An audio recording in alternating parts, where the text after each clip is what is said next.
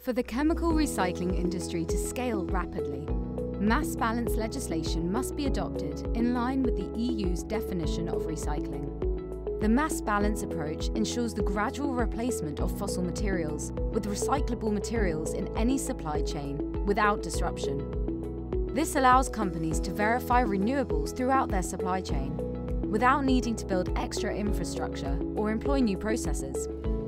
For example, in energy production, you can guarantee a certain percentage of energy in the overall grid coming from renewable sources, despite both renewable and fossil inputs being used.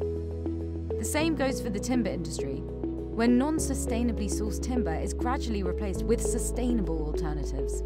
Let us take a look at how plastic energy plays a part in the mass balance approach.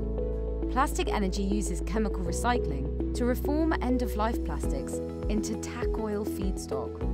TACOIL is then sold to producers for use alongside virgin fossil feedstock to create new plastics.